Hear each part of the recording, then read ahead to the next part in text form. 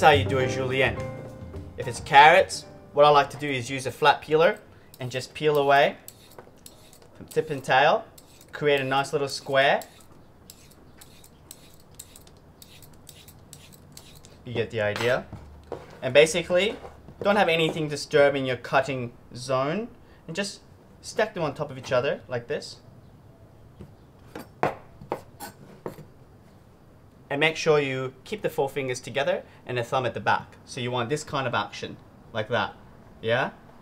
Like that. So basically what we're going to do, here it is, and make sure with the knife, there's a bit of a rocking motion. Yeah, it's just rocking. Never, ever, never leaves the board like that. It doesn't do this, it just rocks, yeah? So here we go. And after a while, you'll know what's happening because you haven't cut your finger yet. Great. And then you've got julienne. You can do the same thing with cucumbers, red peppers, whatever. But if you're going to be doing them with red peppers or cucumbers, we'll just grab another carrot here. So basically, let's just say this was like red pepper. What you want to do is have nice thin slices.